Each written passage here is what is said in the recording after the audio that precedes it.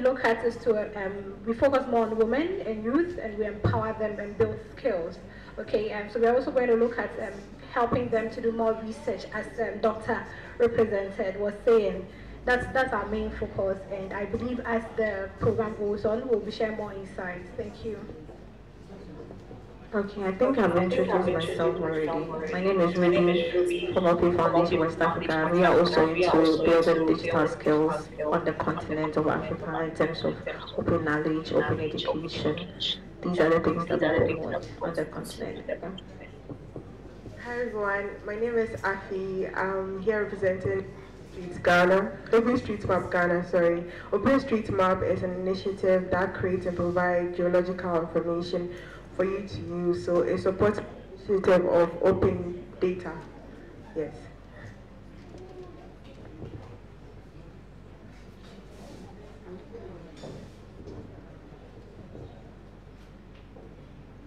Okay, uh, so I'll start off with a question, and uh, this one goes to all panelists.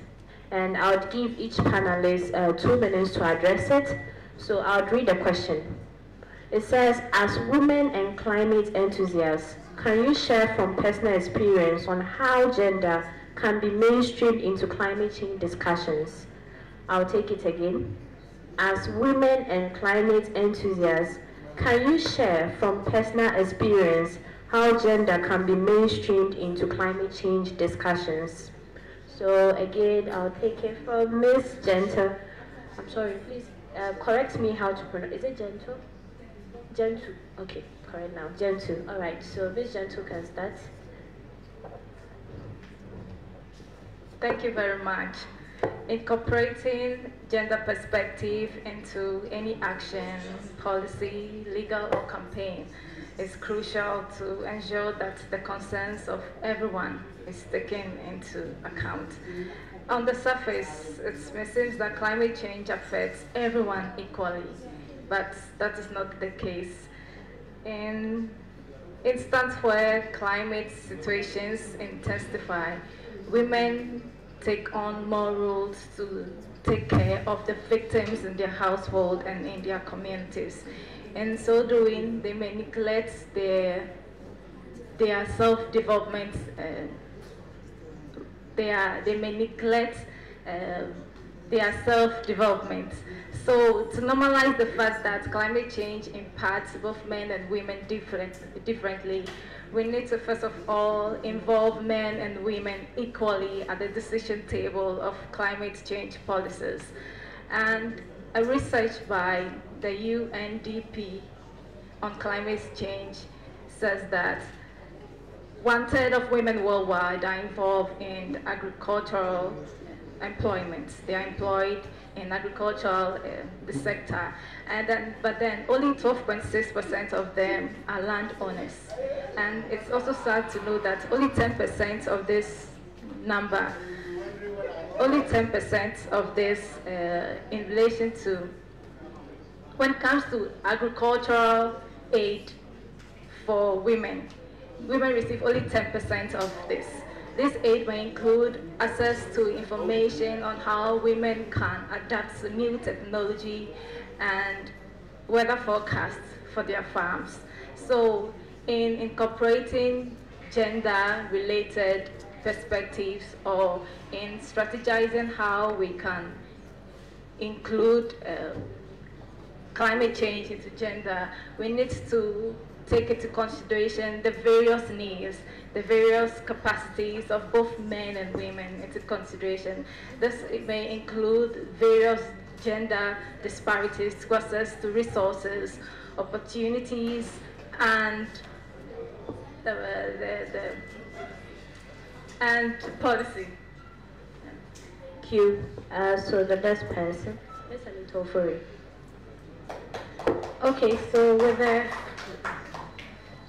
with the issue of climate change, as she rightly said, it's, um, it varies. You may think um, climate change affects both men and women equally, but no, it doesn't. Women are very, very vulnerable. Okay, so um, we want to look at even uh, poverty and limited education is actually one area you can look at. If Let me just give an, ex an ex uh, my experience, okay, I think we are speaking a lot of English, so you let's come home. If you go back in your homes, or me, when I was very young, anytime the tap wasn't flowing, we needed to go and fetch water. It's the woman. And I'll carry a little bucket or a small bucket along and carry it on my head and we'll bring it home. The men will just be home. And if they have to bath, we have to go and fetch the water and bring it to the men to bath. Is it a crime for a man to equally do that? No. And we carry this on our head. At the end of the day, you get headaches. Or you don't get headaches. You get headaches. You get body pains. Our health is what is impacted. You see, so when it comes to climate change and it's, um, you know, yeah, women are very, very vulnerable. Now you want to look at a girl child education. I, I can't remember when we were young, there was a project, I don't, I, I'm sure most of you remember, or you, it goes like, send your girl child to school, mama send her to school. You know, there was a point that they, they were advocating for girls to be in school because a lot of girls were not in school. And even today, if they take, I haven't done, I don't have my numbers here, so I will not want to give a research based on that. You realize that still there's a huge gap, which is gender inequality. Now, the men end up have going to school, having edu being educated, they're able to fend for themselves, but the women, we are not empowered. We are not empowered. So they even take you to a place where you can't even speak for yourself because you don't have that exposure. In fact, if they have not called a woman to moderate, I would say it's an error. Because even right, there was a man who was moderating right from the beginning. Where's the opportunity for the woman? You cannot find it. So women need to be empowered. We need to be given the opportunity to explore. When you come to businesses, see how many, most of the businesses in Ghana are run by men. Okay? And most big businesses right here in this country get support from most of the financial institutions. You go to a woman, it's like they don't believe in the woman. It's now that some of these um, educational awareness is coming up, so you realize that some organizations, you know, are now pushing for women. I come from an organization that is doing one, but as I'm sitting here, I'm not wearing the shoes of the organization, so I cannot promote it. So you realize that the, it, it creates even poverty. The woman doesn't have the money, and money is power. You are in an area where it's flooded. Because you're the woman, you don't have money. The house, did you see that of Volta Jane, the video that was showed? You don't have the money to move, to go and rent an apartment. Especially when you are married, you need to take authority from a man. If the man says no, what will you do? You can't do anything. You stay. You have to be in that building. Who suffers? Your children suffer. Now a woman, you are a caregiver. You, you, you have to take care of your children in terms of the food they eat. Need to, you know, take care of all of that. We spend so much time. And at the end of the day, it goes a long way to affect women. If some of these responsibilities are shared equally, what do you think will happen? There'll be a significant improvement. I'm not surprised in some western parts of, um, in the western country, you go to North America, you go to the European country, they are more advanced than us.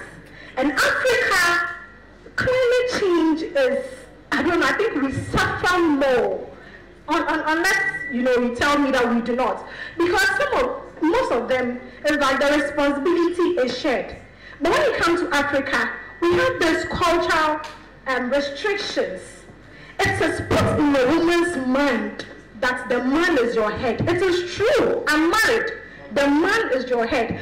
But the man cannot determine your life. I'm not saying it in a wrong context, but don't respect your man. No. The man has a life to live. You, the woman, you have a life to live. And you are responsible for your life. At the end of the day, if you are sick, you are sick. You are the only one who will bear that pain. Okay? So sustainability, climate change, everything starts with us. Pardon me. Everything starts with us. So we need to be very determined. We need to be very intentional as women. We should not just, you know, be taking, you know, you, we don't have to limit our mindset. That kind of mindset is racing, and we need to erase it quickly. Let's empower ourselves. Anything a man can do, a woman can do it better. Even in a very home, parents, you have a boy and a girl. You know what you do? You buy a tablet or a computer for the boy, or a computer game for the boy, and you buy a doll, baby careful, and um, teddy bear for the girl. Yes, how does the girl get to learn technology right from the home? So she gets, she grows, and she's not empowered. She is, she is afraid to use it. So in that area, there is a gap. You go to IT departments in various organizations. How many women do you see there? It's narrow. Okay. And all these things are all around us, and we think climate change is far. Climate change is sitting next to us.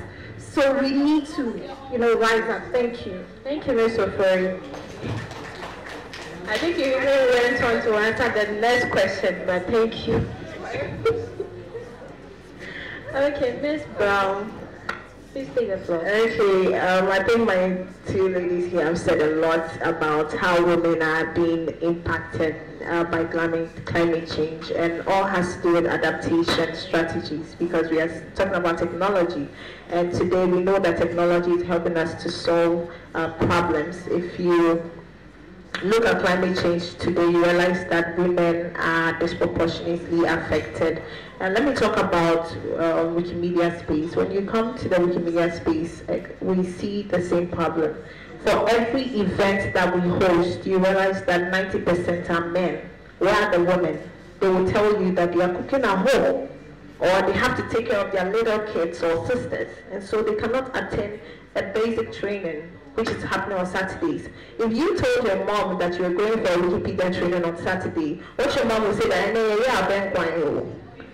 Tell me, and I have experienced the same thing. Today we are preparing soup. Today we are preparing this from that and that. And I'm a mother of two, and I understand. Because when I started have children, children, I realized that it's no joke to have kids and still be running about. You don't have your life. Okay, so women tend to be affected. They don't go for these opportunities. And that's why when you look at the Wikimedia space, 90% of contributors on Wikipedia are male. And that tells us that the information that is being represented on this global platform that everybody is, is not a reflection of what the population is. It's a reflection of a certain group of people. And that is what we are talking about, the bias that is happening on the internet. Because if, if all the men are empowered to contribute to climate change on this global platform, that means that they are going to share their story or their perspective about climate change on Wikipedia. And we will be missing the perspective and the experiences of climate change about women. But we are saying that climate change cannot be solved without including women's voices, without including 100% of the voices of the population. And we are missing more than, I don't know, like we have just 10% or 9% of these voices online. So this is what we are saying. Technology is a very powerful tool. The internet is currency. The internet is power. And so we need to be able to bring women in this space as much as possible. And that's why in the weekend Wikimedia space, we are trying hard to be able to support women. So we have this, um, sometimes for events, we have this childcare support and all of that because we understand that even women start having children or have kids that they need to take care, take care of, they need to be able to pay. Because if I have to leave my kids with a nanny, I need to pay the nanny before I can go anywhere. Okay, this is an extra cost that comes with it. If I don't have the money, I'm not going anywhere. And so women are not empowered, they don't have money. You look at the jobs in the market. Men, women are going for more of the care jobs, jobs that don't pay because we are not getting the skills. All the men are taking the developer jobs that are earning millions of uh, um, dollars, millions of cedis. And so they have the money to do whatever they want. And when it comes to when we don't have the money, so I think it's high time women empower themselves, we take up actions to be able to also mitigate some of the, the challenges that we face when it comes to climate change. Thank you. Um, yeah, just circling back to what you asked. You asked about how um, gender could be mainstream in climate discussions, right? Yeah, so looking, listening to what my fellow have said, it's very true about women being in these spaces, having their voices heard. I believe through ways like capacity building, you see, we have like events to sort of help women understand what's going on, the climate discussions, there are workshops, there are talks, there are so many events. So if we get, if we could get women into like those capacity building programs, I think that would be a great way, right, of bringing that inclusivity when it comes to gender like mainstreaming in the climate discussion. Aside that, I also think there are certain policies and um, gender responsive budgets that are made in certain sectors. For, for instance, for me, I may be biased because I'm coming from like the tech side because I'm a software engineer, but um, most times you see that certain people actually go saying they put certain budgets for women because they know that oh like there's a possibility that this woman may have a kid and when you have a kid you need a nanny. Or there's certain responsibilities as a women that we have to carry out. So in order to sort of make it possible to make women be available at the events they make provision for that. So if there was more light thrown on gender responsive budgeting right capacity building probably more inclusion. For instance, this Wiki Green conference, right? I can see like women being represented here, but I'm not sure. I don't see like equal numbers. The ratio is crazy. At work, it's the same thing. As a senior software engineer on the back end, the ratio is like one to seven. Like I've held that role. Like there's so many guys in the room. You're the only woman. I think last year, where's Joyce? Joyce and was it Jesse? We had this event at Bolingo Spaces and there were a lot of women who signed up in their sheets, right? But we got there and realized that they didn't show up. So I was the only woman in the picture, and there were like 10 guys. And I was sitting in the middle of them like this, like, and this is a, um, a program that was sponsored. There was scholarships being given, transportation being given, all that. So why aren't the women showing up? It boils down to more of society, culture, responsibilities. People have things going on, right? So if we promote them, sure they'll want to hop on board and they'll be in for long. Thank you.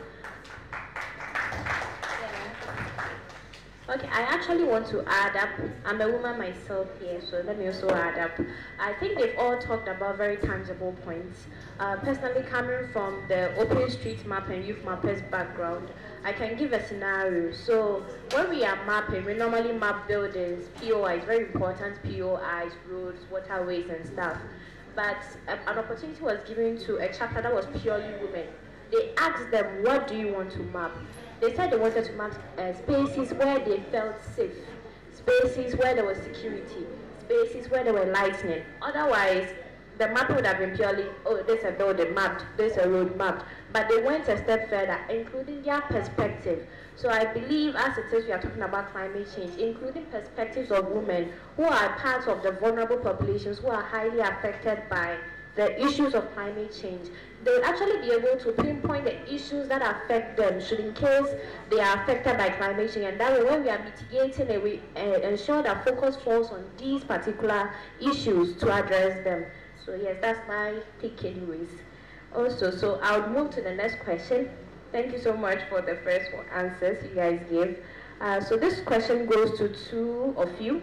Uh, Miss uh, Jen Gentu with Let's Do It Ghana and Miss Anita Ofori. This is to you guys, and I'll state it again, please. This time, two minutes.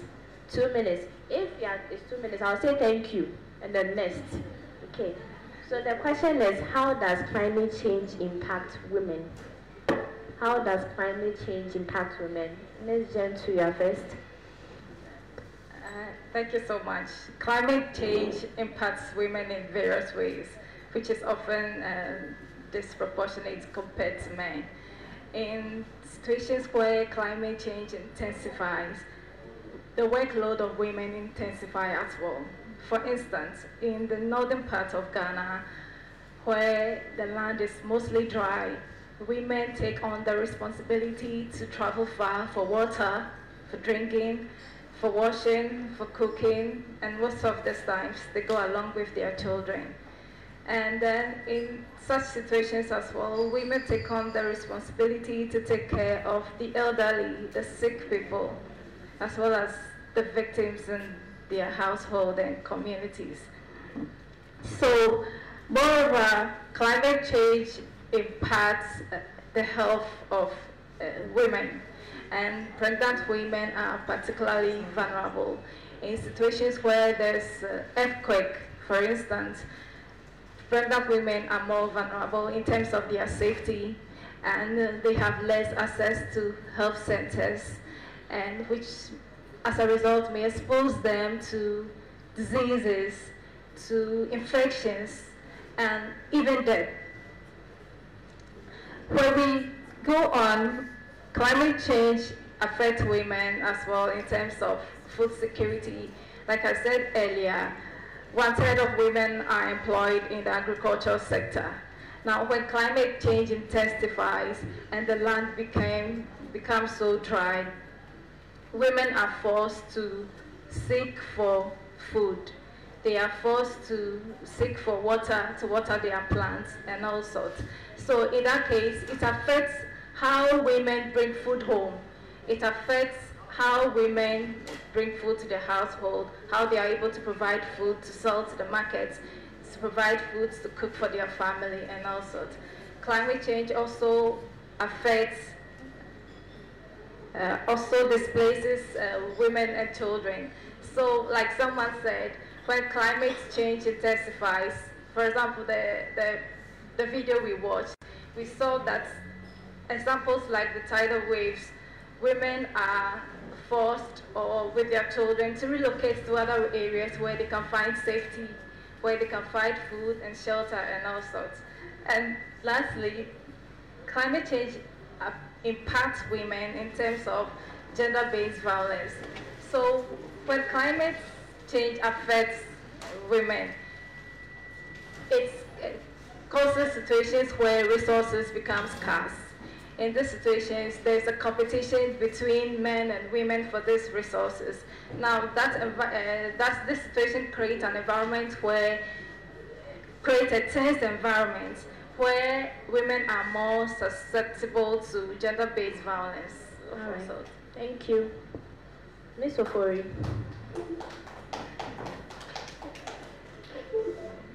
So as for me, I've said it all, and I would like to save time. Thank you.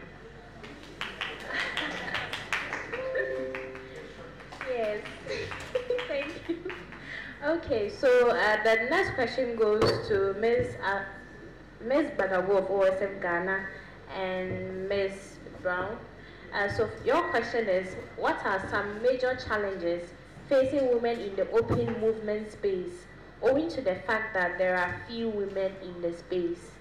I'll take it again.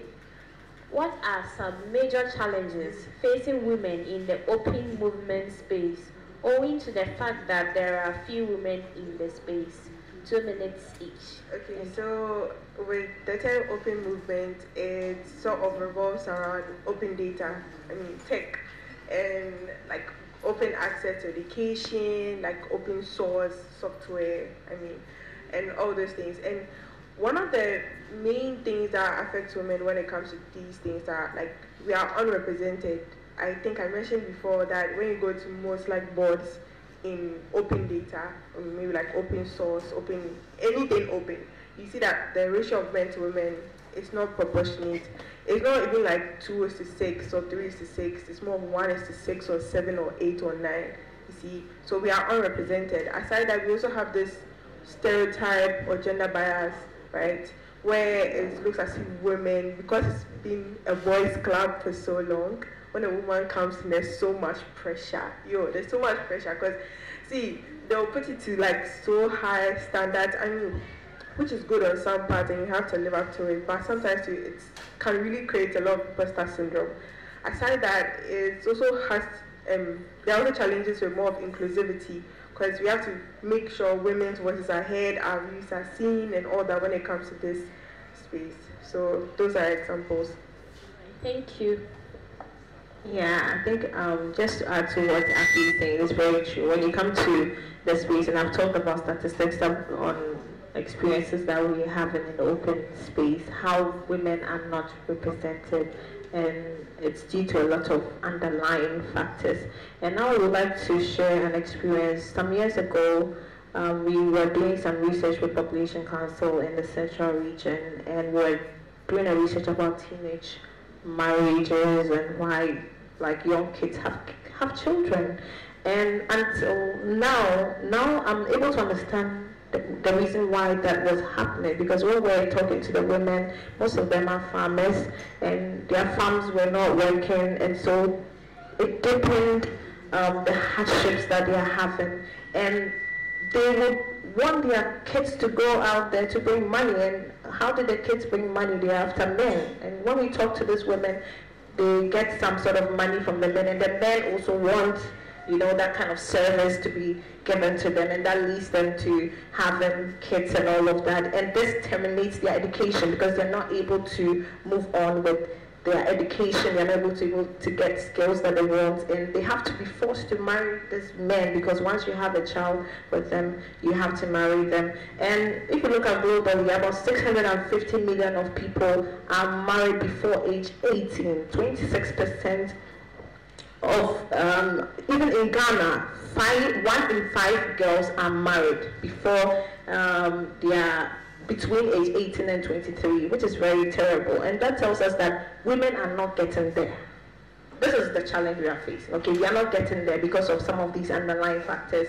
We are getting married early because of hardships that are maybe our families are going through. They want to just give us off quickly to men so that they would have their peace of mind. Because taking care of kids is difficult, and I am a parent, and I know what I'm talking about. Like to be feeding someone, taking care of them and all of that. So your parents want to give you off quickly and that will deprive you because your, your mind is hot. And anyone whose mind is hot is not going for education. Yeah, like your whole life becomes messed up. And this is happening most of the time for women because if the man who impregnates you, you know, it doesn't terminate his progress to go to school. You will not go to school because you have a child, you need to take care of the child. Are you understanding the underlying factors? So we are not expecting women to get to that level where they can be educated, get that digital skills. You are a developer. How many women get to, to be developers? Okay, get to acquire that kind of level of education. How many women are getting to the university? Because marriages are, are shortcutting them. Um, childbirth is shortcutting their, their vision. And all of this is impacting the representation that we are having on the, in terms of having contributors or participation of women in the digital space. Thank you so much. Thank you so much. Yes, please, please.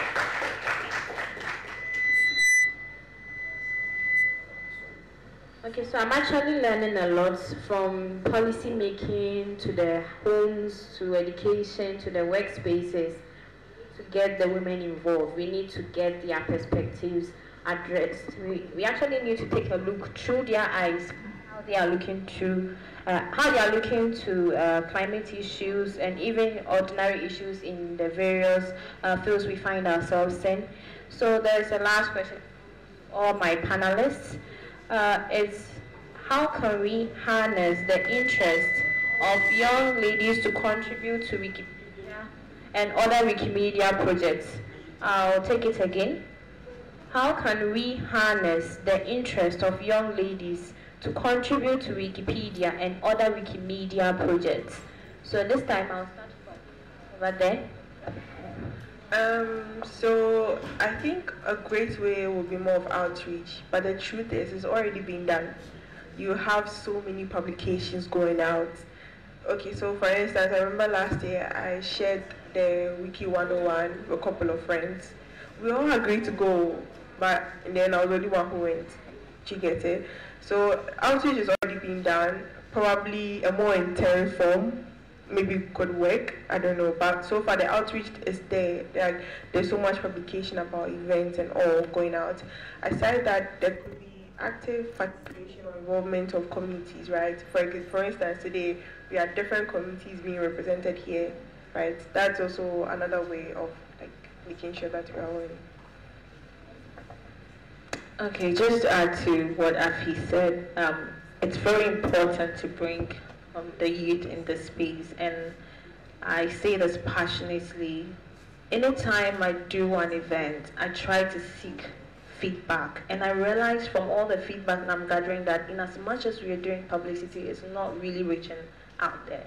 There are still a lot of people who do not know that they can write on Wikipedia. And I'm telling you for a fact anytime I do an event, I ask for feedback, and I'm seeing that a lot of people don't know that they can write on Wikipedia, and a lot of people have misconception about what Wikipedia platform is just because of what we were told by our teachers. And for me, I will use myself as an example. Until 2019, I never knew I could write on Wikipedia. All I knew was that I could use Wikipedia, and I say this passionately because I was like, our Wikipedia existed long ago, how come I didn't know that I could actually be empowered to tell my story, to write the things that I'm passionate about, to be able to provide that kind of information that will be impactful in our global world. And until 2019, I didn't know that. And, and it tells me that there's a lot of work that we need to do. Apart from advocacy, we need to build skills. And the youth do not know how to do the things that we are asking them to do. Then now we're telling them, write on Wikipedia, Wikipedia is good. How are we getting them into the space? And so it's very important that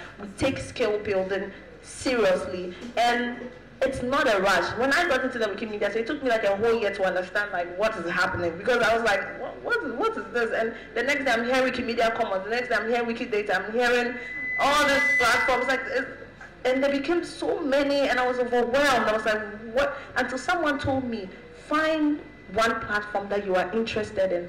Don't think about every topic. Find a topic that you are interested in and focus on that. So if each and every one of us will focus on the little things that we are interested in, don't you think that we will bridge the knowledge gap that we've always been fighting to bridge about Africa?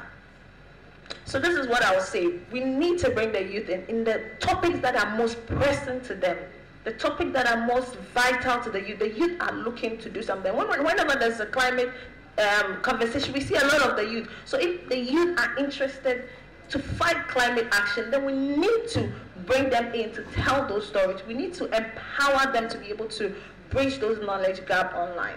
And that's that, that that's the only way I think we can, we can do to bring the youth. And we also need to support them because the youth are not people who are, like a lot of the youth are not employed, most of them are in school and all of that. So how do we support them to get into these spaces to be able to do that? And this is something that we need to really look at if we want to bring the youth on board.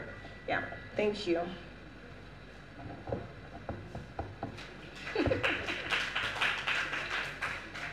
okay, so how do we get um, the youth to be very practical? Um, I know creating awareness is ongoing, but the thing is, um, I think people do not pay attention. So you become intentional about something, that's when you get to know the benefits.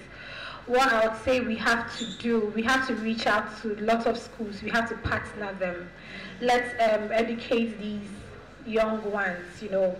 Someone, one someone was like, hey, Ghana be a year. And no, the person told me that actually you could be to 35 years. And so nobody 35 years and below, we leave them.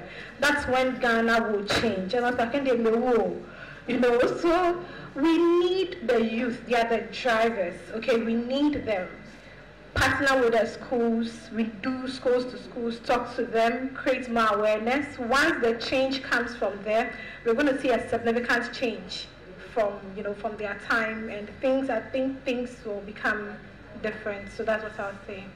Thank you. Thank you so much. I think my colleagues have said a lot. I just want to emphasize that Wikipedia can uh, continue to promote diverse views, uh, to encourage young ladies out there, like the representation we have here. It can also uh, bring together um, experts, female um, editors, so they can train young ladies about the contribution they can make on Wikipedia. They can highlight the works that these women are doing. When the, uh, young ladies are exposed to these women, they'll be encouraged to also contribute to the impact that Wikipedia is doing. Thank you. Hello?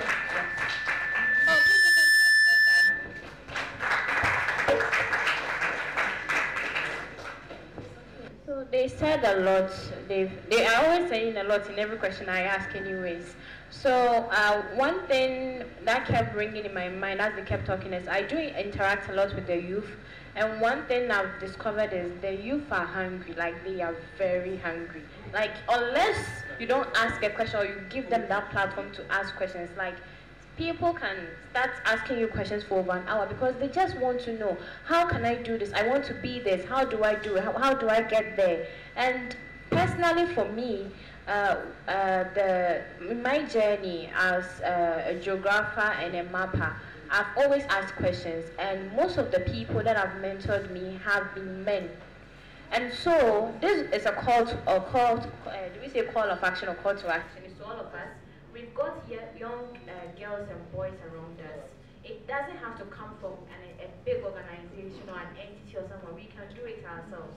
We've got people here, you are knowledgeable in a particular field. You've got people around you, young people, your siblings, your friends, your cousins, even strangers in schools. You've got these people around you. We could uh, take that call to action up ourselves and actually be able to guide them on the path that they want to be, on, especially in the field of climate and in contributing so at this point, I would give uh, each panelist two minutes. I know they'll come from my head, but I'll give everyone two minutes to just give us your final words, whatever you want to share with us, so we can take your, your takeaway messages. So I'll start from Ms. James. You have the mic, and then we go from Thank you. Um, we've said a lot, like you said, um, addressing uh, climate addressing climate considerations is crucial to ensure that the various voices of everyone is considered. I think that we can achieve a successful climate change um, uh, change when we, by educating women, empowering them, as well as granting them the resources they need. Thank you so much. Okay, so what I'll say is that um, let's let's be very intentional about the things we do, and let's not take it lightly.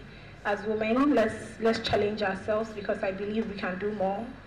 Even as I'm sitting here, I'm, I'm really I'm working. You know, I'm working and I'm still here. We can combine things. We can multitask. So let's not be afraid and let's take a, a green pledge and let's say that I pledge to live a sustainable life. Please let's say together.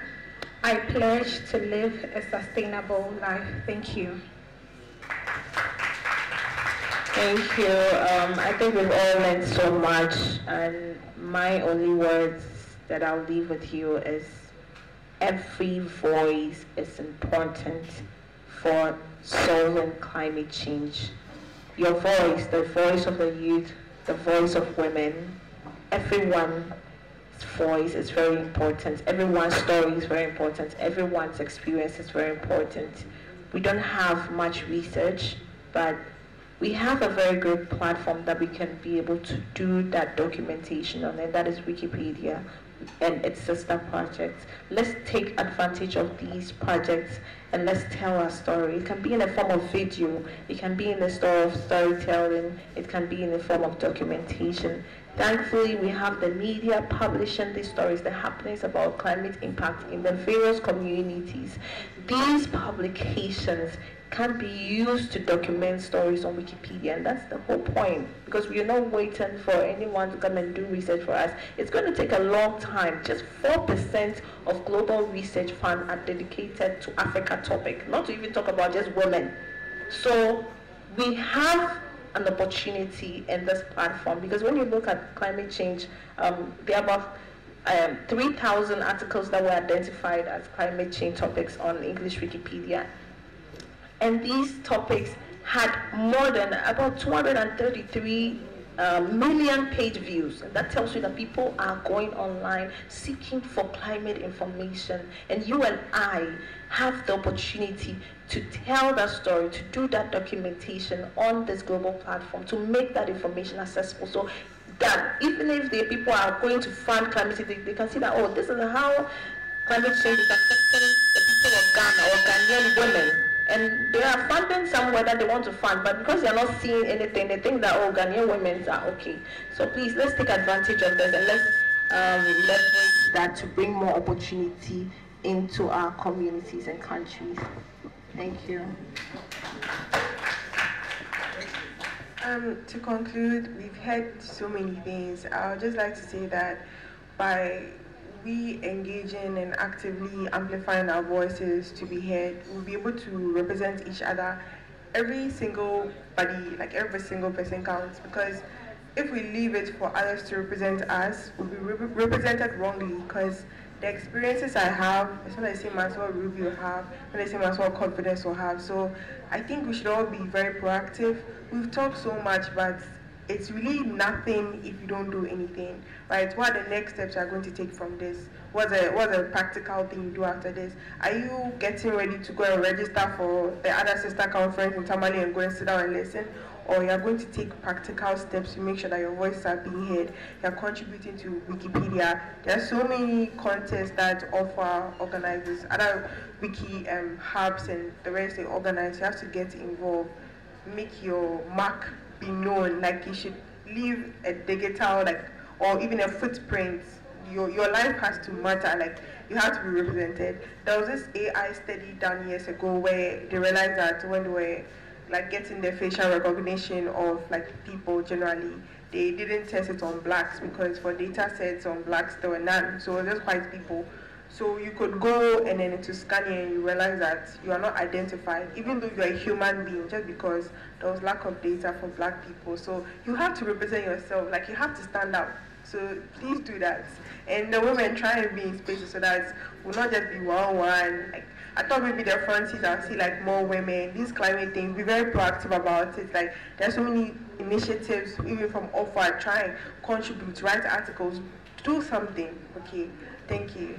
I want to add to that, to be able to be successful in the Wikimedia space, join the community okay, and go. It doesn't take one day. So those of you who are looking to just kill yourself on one article please it doesn't happen like just relax and take your time. Join a community find friends who are in that space and learn. There are so many communities in ghana. We have the wiki uh, open foundation is one of them wikimedia ghana Dagbani group and the other language groups that are in ghana so if you're interested to join any of those groups looking at your passion you're welcome to join it's open and it's free you don't need to pay anything to join any of these communities so we're looking forward to having you all on board so that you take advantage of the various opportunities that we give to our community members.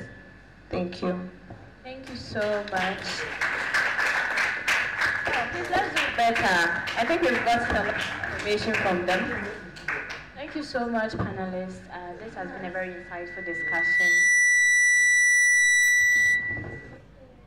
I think I, I personally, I have got a lot of message I'm taking away. I pledge to be sustainable. I'm going to represent myself and make sure that I join a community. Yeah, I got a lot. Uh, um, Mr. Otsuo, with your permission, people have questions. Thank you. So, hallelujah. We've got 10 minutes for questions. So if you've got a question, please raise your hand.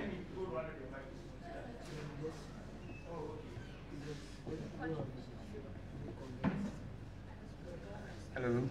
Um, my name is Emmanuel Nijan Ashley, um, the SRC president for the University of Energy and Natural Resources, the one campus. Um, project, um, open green project assistant and um, project coordinator for um, Planet Earth um, Positive Alliance, and also the founder for Global Climate Change Resolution. We are into, we are focusing on the three pillars in sustainability or sustainable development that's economics, um, the environment, and the society. Um, um, mine is a contribution. Talking about climate change, I'm also studying climate change my final year, climate change and sustainable development. So talking about climate change, the impact is affecting all aspects of life, leaving no one behind. Now, when I'm talking about vulnerability, um, in Ghana, we are crying so much all the time. I've been to several conferences and when it gets to gender, always women are crying that they are suffering. And what's making them suffer? What's the vulnerability there? You know, um, the world was built on the shoulders of men. Let's not forget that. And for women to run that race with men, they need to scale up. They need to empower themselves. Um, I admire the fact um, one of our um, panelists was saying that that there was a program that was meant for women to be there, but at the end it was only here that represented. When I was aspiring for SRC president, I went purposely for a female vice, not knowing other females somewhere were against a female who is aspiring for a position. So what we have to start working on is to change the narrative in the society. You know, we came from different backgrounds where there are a lot of narratives that women don't do this, women don't do that, that kind of entitlement, everything men should do. That is what we should focus on, changing the narrative in the society. Well, in the society, women, most women are well-to-do, they are working very hard. But let's look at the villages. That's where most of these women are vulnerable. That is where we need to focus much on. US currently is investing so much into LGBTQ. They are doing it right from basic school, investing so much there. But what is Ghana doing? We are just sitting here, always talking. Then they'll push their agenda here. Then at the end, we start fighting back. So what do we have to do? And in the fight in climate change, it's about innovation. Climate change has opened a lot of avenue for us. Now, um, with the cost of vulnerability, money is also a, a, a, solution to all these our problems. Because if there's money, we will be sleeping. Because of there's lack of money in the system, we are all crying. So we should be innovative in all our, our, our, our dealings or in everything we are doing. If you are not innovative, then it means you cannot catch up with the world that is coming. And very soon, in the next five years, we are not going to use digital, uh, sorry, um, paper and um, coin currencies anymore. We are going to deal with digital currencies. And it has started. And if I should ask in this room, how many women are, are exposed or know about digital currency? How many? A few. But when we ask the, the guys, how many people know about digital currency, cryptocurrency, Bitcoin, and the others? A lot of guys will raise their hands. So nobody is depriving women of their rights. But just that they are relaxed. Sorry, not they, most are relaxed in this. So it's about time we need to start educating right from childhood. We need to change the mindset, going to schools as yeah, we stated earlier. We need to go to schools and change that mindset. Otherwise, we'll sit here and someone will cook some stories, some bring it to Africa, besides Ghana, and they'll start polluting the children. So we need to champion that action, changing the mindset right from childhood. Then Ghana and Africa as expected. Thank you. Thank you, but I beg to differ. Women, we are not relaxed at all. All we need is opportunity. Let me tell you, discrimination starts right from the house. Home. When you're a child, they'll buy you a game and they'll buy the lady and something else. So you get to know or you like technology. Look, a, a boy baby will like to fidget things than a girl because the girl they don't buy it for the girl. You you are following your mother to go and cook, to go and do this. So since you know about climate change, I know your mindset is different and your generations to come, their mindsets will be different. It's education. Okay, so I'm not putting you, but women, we are not relaxed. All we need is opportunity and we'll try. Thank you. Um, I, I, I, want to say a story. When I, there was a funeral that happened, um, one of my uncle passed by, and in that funeral, like it's not a funeral, it was a gathering. Like before you have a funeral, there's a gathering, and the chief stood up, and then he called some men from the gathering. All the men that stood up, they said they're going to have some decision, and they will come back. All the men that stood up to do, to, to all the people that stood up for that decision meeting were men. Until a woman is asked to speak, you dare not speak. And that is the culture that we are living in. That is the discrimination that we are talking about. Okay? So it's not that women cannot speak or women do not have a voice or women cannot do anything. But are they given the opportunity? If you're in our homes, if a man eats, naturally the women are supposed to go and gather the plates and wash. Okay, so that productive time that could have been used to learn something productive, the guy maybe is going back to learn something. The woman is in the kitchen trying to clean up, trying to cook, always spending times doing things that are not really going to build skills or maybe home skills, but beyond that. Okay, so that's why you will always get the opportunity because you have been given that liberty to be here. Nobody's asking you to cook soup. Nobody's asking you. Are just saying go, go, go, go, go. You know, and the women they'll say, oh, today you went here. Why you go again? Today you like there's so much demands of, of us in the house. So it's, it's, we need to rather work on our culture perceptions and give more opportunity consciously to women, like equal opportunities to both men and women so that we can all um, work together. I know there's a lot of issues, but let's see how we can work together to um, promote. Another question. Um,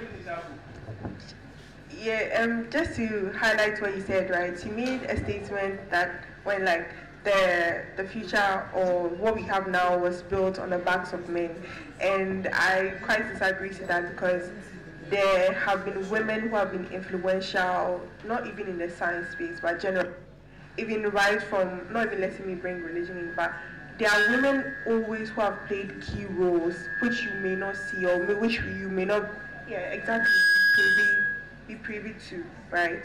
Yeah, so you can't just make that generalization. Also, I agree with my other fellow panelists as we're saying, some women, most cultural backgrounds, you have to go to the kitchen. It's not even up for debate. Please, you have to know how to, yeah, it's not up for debate. You, you can't go and be now arguing with your grandfather that you're not going to cook, you're not going to. Some, some of our, some backgrounds were quite lenient. So maybe as you're growing up, you get SHS, my mom realized that me, the cooking, I could do, but it's not what I really want. I don't really want to spend my whole day in the kitchen. So what I come on vacation is rather my brother who will be close with my mom cooking, and then maybe on some days when I feel like I do it. You see, so that's what gave me the liberty, to explore the things that I really wanted. So it's not equal like that. It's not flat out. Some people don't get the opportunity to do the thing that they want to do, explore. I'm sure the reason why um, most women don't know about Bitcoin, I don't know. I only saw one hand up in the corner, right? But probably the other women who know about Bitcoin, but they are shy women, we don't have certain, yeah, I'm sure there are women who have heard of Bitcoin, crypto, but these are, they are shy. So you just can't put it out there that, yeah, uh, um, uh, uh, how many women know about crypto? If you've heard about Bitcoin before, just raise your hand. Exactly, look at, there are more numbers now. We, exactly, women, women, exactly, women are not exactly like men. For the job space, right? In tech, because I, I, can speak from tech, you have most of the men going for jobs. They'll just have one skill though, out of the 10 skills. The boys will yob you and they'll get a job. But the woman will have 8 out of 10 skills, but she will still not apply because she feels like she's not got 10 over 10 skills. But the guy with just one skill, let's say PHP or Java, he just apply and then he'll, he'll get in. Then he'll go and learn on the job. So it's more about we women, like we changing, yeah, changing the way we think right? And probably do more capacity building, like this encouragement through groups, empowering and all that. But I don't believe women have so much to offer. We are not relaxed at all. Let me tell you, we are not relaxed. We are not relaxed. So yeah. Hello. Yes. I am Michael. Michael from Koforidua Technical University, KTU. Um, with what you were saying, yes, like my kid says, I wanted to become a mechanical engineer. But then my kid says always has this passion that she wants to become a robotics engineer. And seeing, kind of, see, being in that space, seeing the challenges would go through, I also sacrificed and entered into mechatronics just to get such knowledge and then help her with that. And it has really helped me. So I don't really base the emphasis on the fact that women are not being given the chance. They have the chance to do everything, but then I think we just need to give them some extra more attention for to, to groom them into that. But then, like, like say you give the baby girl a doll, if you give her a game, she wouldn't like that because most of her friends are already having dolls. So uh, yes, that is that, they, they feel like that isn't theirs. yes, they feel uh, yes, um, yeah, most of the time they feel that isn't theirs. Uh-huh. And also with, with what the first meeting and then I would want to throw more light on that. When in, anytime I go for these seminars or conferences like this, I mostly find out that I am the first Koforidua Technical University person being in that meeting. And it's, it's, it's, it's really uh, a problem to me because I, I tried with four friends to organize uh, a green tertiary council, which, but then coming here today, I've realized there are such small things that are happening that you don't even have any idea on. And talking of climate change and its effect, when you go to um, the Birim North District, Epiasing for instance, a friend of mine, my very best friend, Kokwe Chang, he died because of galamsey. And with that, you can't, uh, there is a need that you can't do anything about it because you feel like those people doing the, the galamsey, they are backed by the kings and other stuff. And you can't just stand up to go and tell them that they should stop. And even the youth within that society, they are all into that because that is what is giving them money. And they cannot stop doing that. And the fact is, even my grandmom sold our family land, the cocoa land to these Chinese people to farm on because he, she said that she cannot do a farm to reach that state to get that money that the Chinese will give her instantly. And it, it's really it's really becoming a problem. I entered into entrepreneurship, Go Papa. It's one of my projects that we are trying to uh, gear towards the SDG 2 to help uh, like find a way to get food very cheap that maybe they can change. But then looking at the long term, I don't really see that becoming or helping to solve that issues.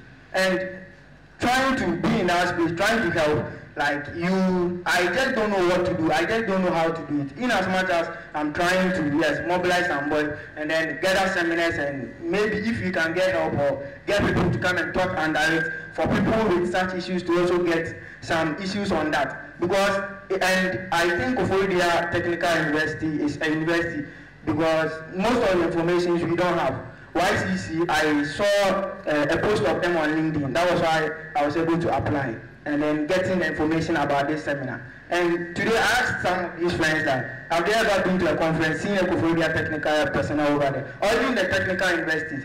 They still see us that today is a polytechnic or something. But then we started mechatronics first here in Ghana. So it, and it's a prepared program. So I think most of these information and other stuff should also be spread out to these technical universities. Yeah, youth now we are hungry to, and then want to make policies or change policies that already exist. But I don't think we have the information on that. So I'll be happy something be done. Yeah, that's a very, very good submission. And for information, I know 5KTU people. I've met 5KTU people. On my previous project with Morgan Stanley, I work with like 5KTU people who, I didn't know they even had a mechatronics program. And with regards to your sister, you said if you bought your sister the game, you think, well, she probably not like it. Because probably she wants to venture into, you wanted to venture into robotics, right? Right? Robotics. So in my third year of SHS, I went to Aburi Girls, by the way. I represented Ghana at the World Robots Olympiad in Russia, right? And when you said robotics, it was quite funny. These opportunities, they are there, but they are not there. You have to look for it. You see, and I'm happy that you as a big brother, me, I wish I had a big brother. Like I wouldn't be suffering like this. like I wouldn't have hustled, certain hassle. I mean, I have great people like Mauto, I have like people who are there to support me and all, but I wish I had a big brother who would have given me more insights, who would have gone in front of me. But I have to do that for my brother, you see. And I'm happy you're doing that, like going to mechatronics so that at least your sister, by the time she gets there, she already have an upper hand. So if opportunities are there, since she wants to get into robotics, there are so many STEM fields, like so many STEM groups. Joyce is outside, I think. He's from Makerspace, deal with like robotics. So EV3, NXT, also IoT labs. There are so many groups in Ghana that are involved in this that can sort of harness that interest that your sister will be like interested in to like level up when it comes to those skills. Also, you mentioned that um, you saw this link from YCC in their channel and you applied. The truth is, my experience, I went to Tech 2, right? And there are certain programs like Bank of America, Merrill Lynch, Goldman Sachs. If you don't know, if you don't search, you never find. There are so many people who will apply from, let's say, Ashesi, like from different schools. But when we end up at Kempinski for three days, you see Tech, one, K2, the see some, I'm not gonna lie. Um, Legon, one or two. UMAT, one, right? Ashesi, 20, 30. And you see, our schools don't have that um, systems or groups or department that go and look for opportunities for us. So if you don't hustle and look for it on your own, it's it will really overwhelm you. You you you'll not be there, and you also don't know these programs are there. And also when you have friends in different universities, like well, I know that oh my friend is in Ashesi, so she'll be like, ah, have you have you heard of this program? It's gonna happen at this time. Or maybe you browse and find things that are going on in Ghana. That's the only way for you to get involved in these things. There's a particular page called SEO Africa I didn't know them till after school or like final year. They really put out opportunities about this. Aside wiki, climate and all that, they put out opportunities for you to level up your career after school. Because see, our normal government four years, it doesn't really equip us for the outside world when it comes to job markets, especially in tech. You need to take the step outside, else you will not be able to get to the global standard, even the national standard, you'll not be able to compete with other people. We have different universities in Ghana, but why is that it's only a particular university that brings out or churns out like a particular quality of people who get good jobs when they're out. That school is do doing something different. And since we, we don't find ourselves in those schools, we have to also look out for ourselves. We have to be very, very strategic. You mentioned creating the council, right? So you have people, partners on this um, pull-up you can interact with them, connect, and try and set up something on your own. During my third or fourth year, we my badge in the back behind me were the, were the badge that brought the Google Developer Student Club to tech. Right, I remember I literally led the first session of that. If you don't take those initiatives, nobody will.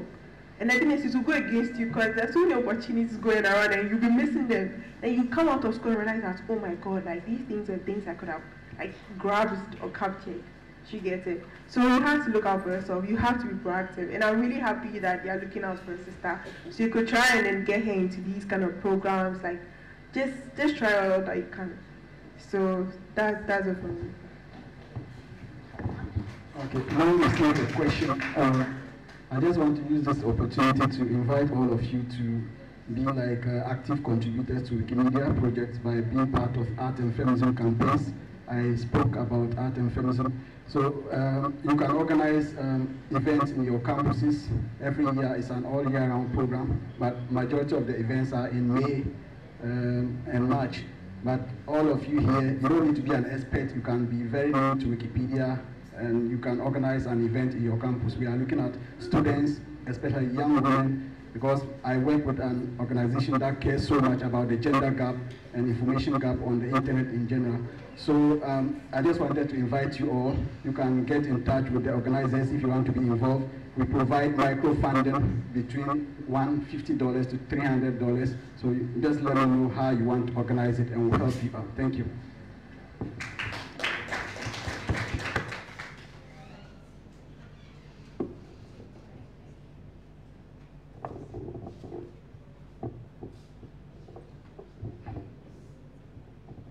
All right, thank you so much, my panelists, and thank you, audience, for being attentive. It's been very interactive. Um, actually excited about the questions that came in the comments as well. Thank you all so much. So, uh, but I do have something to add.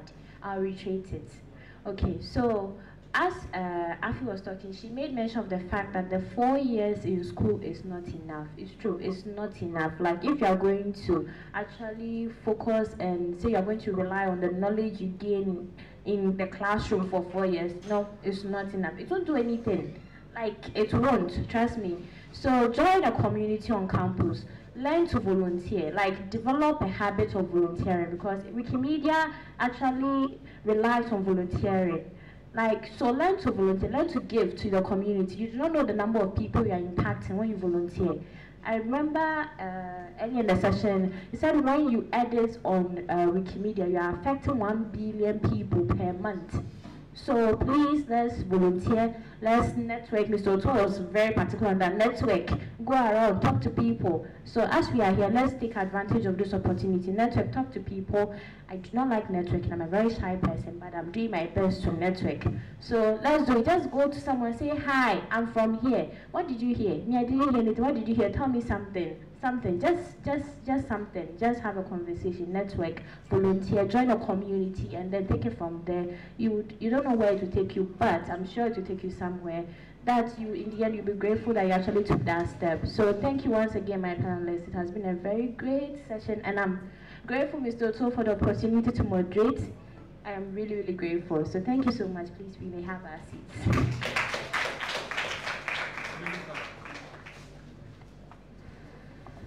Thank you, thank you, thank you. Normally, they would have said all too soon, but I'm told it's grammatically wrong. So I wouldn't say all too soon.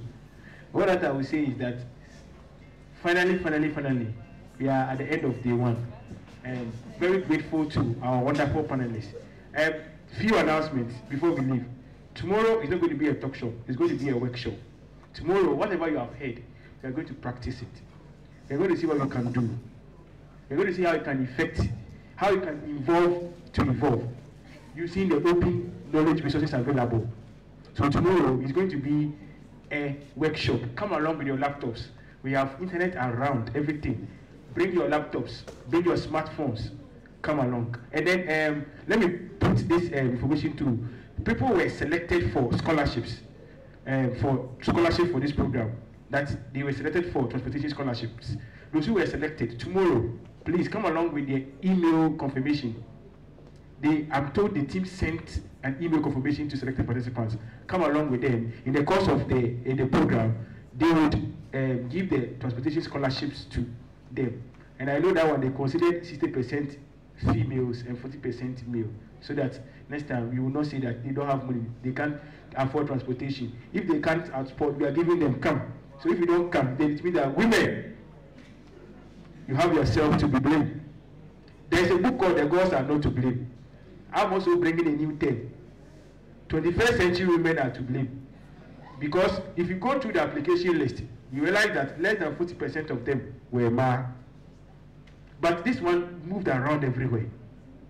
So, me, I am saying that tomorrow, women, women, shine me. Please come on. And see, we say tomorrow is workshop. So tomorrow we are going to actually take you through how to do all these things practically. There will be a few, then people will be taking through trainings, workshops. I, I, I, I'll talk about again if you can come around. Then you'll be some areas you can even edit live. There have been some current information in terms of our NDCs and in terms of our climate policies. So when it hits, as soon as it says it, you look for the reference, then you update the Wikipedia content with it. If it doesn't do that, I'll do that myself personally so that we can give you how to do some of these things. So tomorrow, please, we are coming. The time for tomorrow is 9. 9 to 10 is networking and breakfast. So networking, you come, you see, your network is your net worth. Okay? Now the wealth is two, the, the, the W-R-T-H and then W-E-A-L-T-H, all the two. How they value you will depend on your network. And the money you have at a point also depend on your network pàtó wọn sikani a ne nan foforɔ yɛ ahiafoɔ da wode wɔkɔ israel bi wɔn kɔ sɛ wɔn club na wɔn kɔ wɔn sei na na wɔn mi sɛ ɛmi kɔ a they they will arrest me. They will think that i'm going to spy on them. So you see your network so build a network now. In the 21st century the currency we use is not actually money. The currency is network. I hope people like um, tomorrow um, Sinasa Sadiq Dems will talk about some of these things I'll give him some time to talk about networking and how some of us, me, most of the travels that just recently, when um, the U.S. Embassy came around, um, I went to U.S. Embassy came around, they were doing this conference, Fulbright and whatever.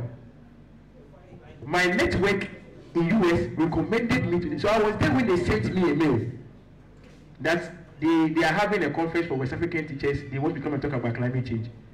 I didn't know the the US US ambassador I US ambassador together come whenever down for.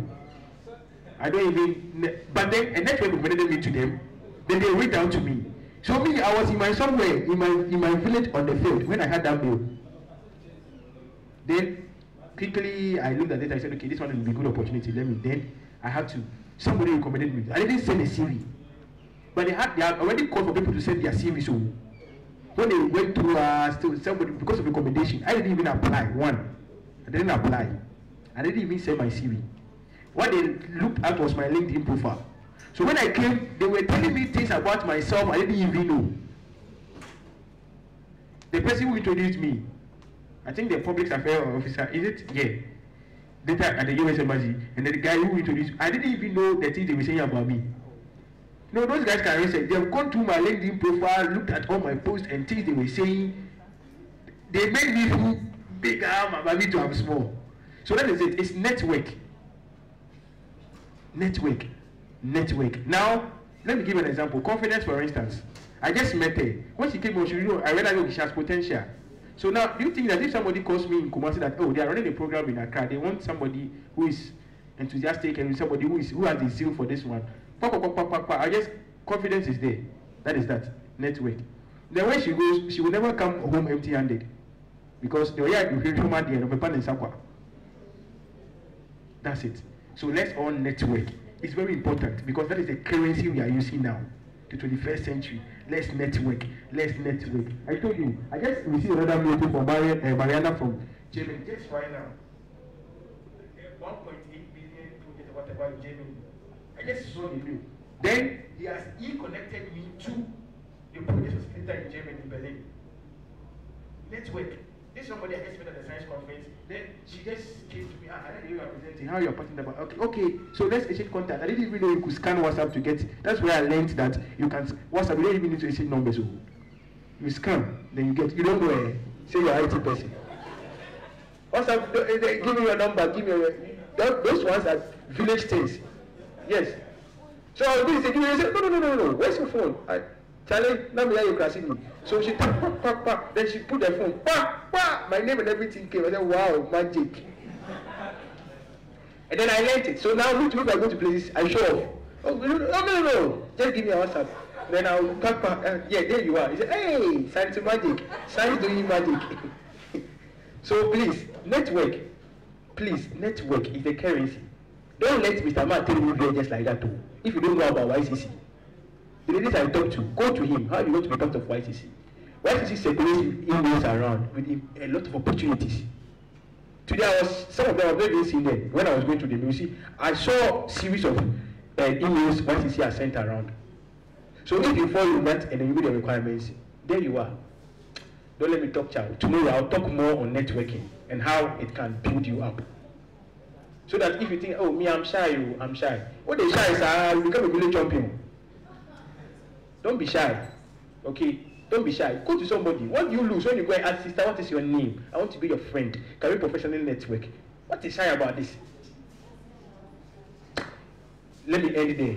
And tomorrow we will continue. So to cut the long story short, tomorrow we are coming here. The announcements are two. Please come along with your laptops, your smartphones, or whatever it is that you can use to edit. Because we are going to do live edit and then we take people through um, how to edit, and everything. Maxwell will be around. He's a facilitator. Ruby then, hey, Ruby, are you coming tomorrow? She said yes. So Ruby is coming tomorrow. Pfizer is there, Wikidata and everything. Pfizer will do that. And then um, our senior most Sadiq too is around. People are pointing hands. So tomorrow, Sadiq, this, one is before all of them, so that if you say you won't come, it's not me I'm telling you, it's them. So tomorrow you are coming, right?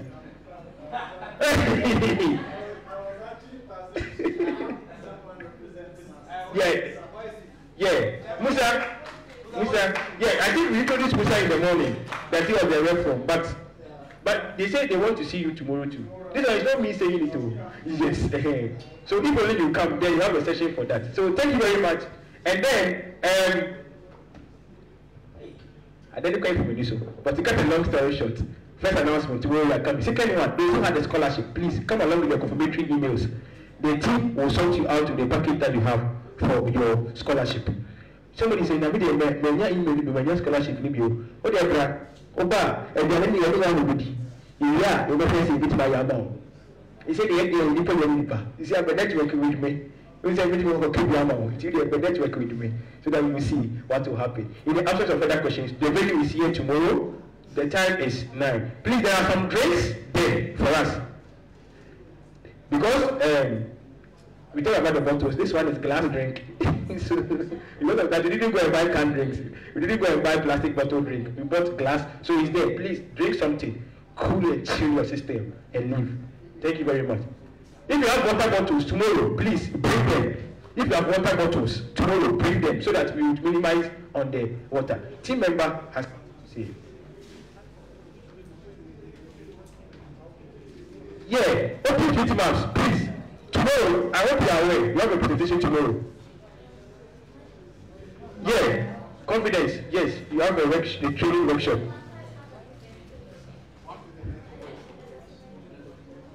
I, I'm sure the documentary, yes.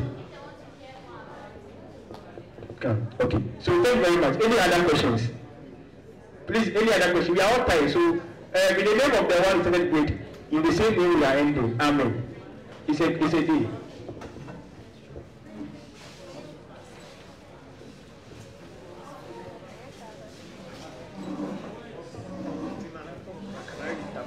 Yeah. And please know that tomorrow you are coming to learn to go and teach others. So come with whatever you learn how to do it to go and teach others. And those who receive the law, you are supposed to register on the meta page. You have not done that, your name will be captured for the scholarship package because the foundation will not know you. So if you have not registered on the meta page, your name will not reflect. If you have not registered on the meta page those who receive the scholarship they sent you a mail to register on the meta page. If you have not registered on that meta page please it's like you have not received the scholarship. If you are if you did not register on the meta page it's like you didn't accept the scholarship. So you are not you are not part of it.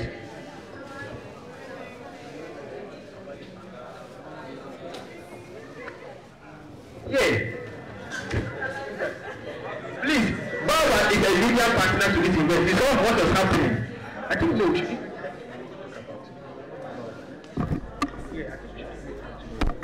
Should fa fa camera ne kɔ anim no Please, our media partners, so Please, please, so a Bawa. Yes, Bawa. Bawa entrepreneur. Yes, they are great business. They are media partners for the tomorrow.